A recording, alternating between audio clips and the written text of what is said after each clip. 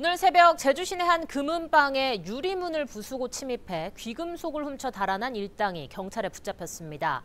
이 절도범이 귀금속을 훔쳐 도주하기까지 단 22초밖에 걸리지 않았는데 일당 3명 가운데 2명은 10대인 것으로 확인됐습니다. 김경임 기자의 보도입니다.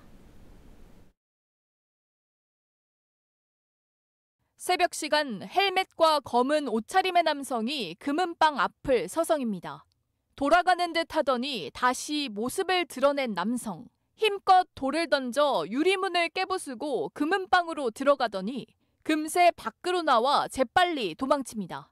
제주시 일도동의 한 금은방에서 절도 사건이 발생한 건 오늘 새벽 2시쯤. 경비업체가 출동했지만 절도범은 이미 달아났고 진열장에 있던 6천여만 원 상당의 귀금속도 사라진 뒤였습니다. 절도범은 돌로 유리문을 부수고 침입해 귀금속을 훔쳐 달아났는데 범행 후 달아나기까지 30초도 채 걸리지 않았습니다. 그냥 점토들은 많았어요.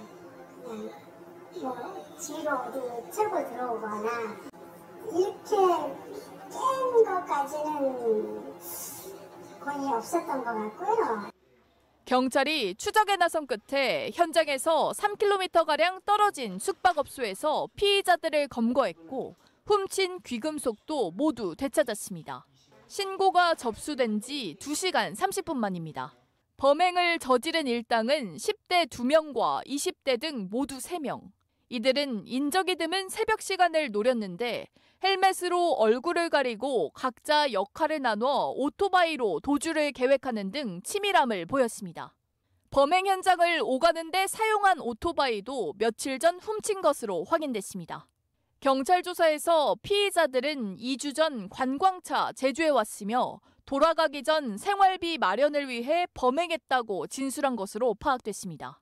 일당 가운데 20대 피의자는 여전히 범행을 부인하고 있는 것으로 알려졌습니다. 일명은 돌을 가지고 유리창을 깨고 그 진열대에 있는 그 기금속 돈을 훔쳤고 다른 10대 1명은 오토바이를 타고 어, 대기 중에 있었고 인근 근처에서 그리고 한 명은 모텔에서 연락을 주고받고 하였습니다. 경찰은 피의자들을 상대로 여죄를 조사하는 한편 구속영장을 신청할 계획입니다. KCTV 뉴스 김경임입니다.